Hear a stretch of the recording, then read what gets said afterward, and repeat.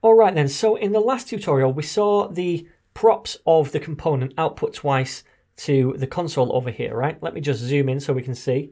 And we saw that the second time around, the books were attached to this data property inside the props.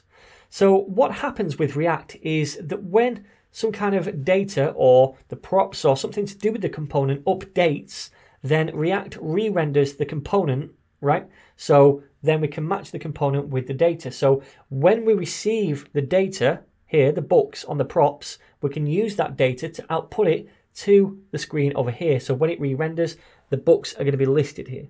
Make sense? Okay, cool. So that's what we're going to do in this video. So let's head over to the code. I'm inside the book list component here. And what I'd like to do is, first of all, get rid of this console.log inside the render function. I'd like to create another function which is going to control the output of the book data to the screen in the component, all right? So let's create that uh, function right here. We'll call the function display books. That makes sense? All right, so inside this function, what do we want to do? Well, first of all, let's create a variable called data and set that equal to this dot props dot data, right? Remember, when we output this to the console, it's all attached to a data property on the props. That's what GraphQL does. It attaches it to the data property right here, all right? Notice also that the first time around, this loading property right here is true. That means that the query is still loading in the background. It's not returned to us yet. We don't have that data yet.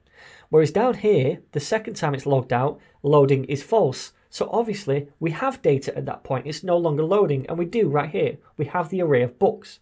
So what we could do is use this property loading to check if the data is actually ready for us yet, right? And if it is ready, then we'll output the books. If it's not ready, then we'll output something else like loading books or something like that. So let's head to the code again. And underneath here, let's do that little check. We'll say if data.loading, remember that's the loading property, so this.props.data.loading. If that is true, then what do we want to do? Well, we can't output the books yet, so let's just output something else, like uh, loading books. So we'll return something here, and it's just going to be a div tag, and this div tag is going to say something like loading books, like so.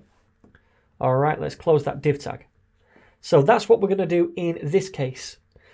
Now then, if this is false, then we're going to run the else statement, and that means if loading is false that we have the data, right? So now what we can do is take that data, take the books, and we can map them to some HTML and output them.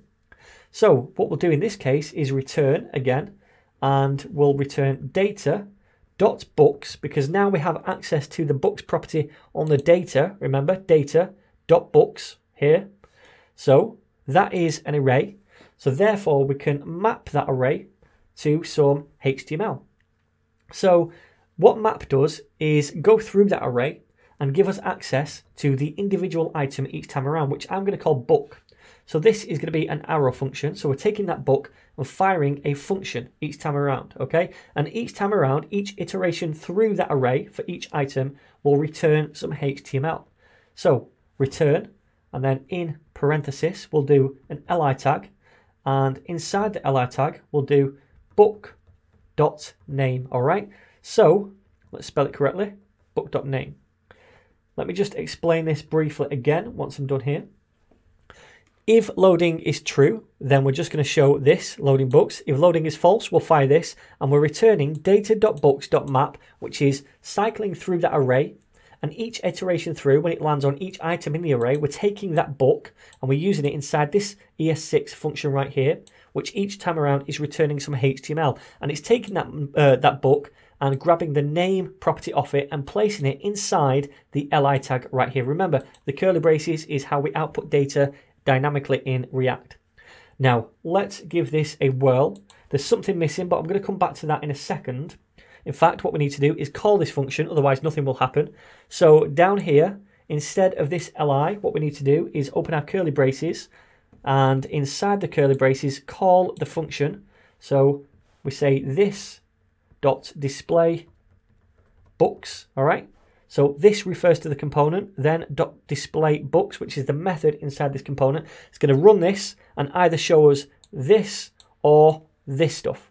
So let's save it and find out what happens. Let's go to the browser and you can see right here that we have all of the books on the screen. Now, if we refresh this, if you're really quick, you might see the loading bit at the start. So refresh, loading books, very quickly it goes once the query comes back with the data, and then we have this stuff output to the browser. That is awesome. Now, I said there was one thing left to do, and it's because we have this error right here, which basically says each child in an array or iterator should have a unique key prop. So if we go to the code right here, it's saying that each one of these li tags that we're outputting has to have some kind of key, some kind of identifier for each li tag so React knows exactly what it is, if you like, all right? So we can say that the key is going to be equal to the book.id, right? And that's going to be unique for each different li tag because in the query up here, we say we want the name of each book and the ID of each book. So we're outputting the name within the li tag and the ID of the book as the key, and that will be different for each different li tag that we iterate through. So let's save this and make sure that the, uh, the error goes away. If we refresh, we can see loading, then this flashes up and the error is gone. So awesome, well done. That is how we can bind our query with the component and then have access to all of the data that comes back from that query and output it to the screen. So we're getting closer and closer to the final product here. We're starting to interact with our GraphQL server. And in the next tutorial, what we're going to do is start to create different components to add data to this list. So I'll see you in that next tutorial.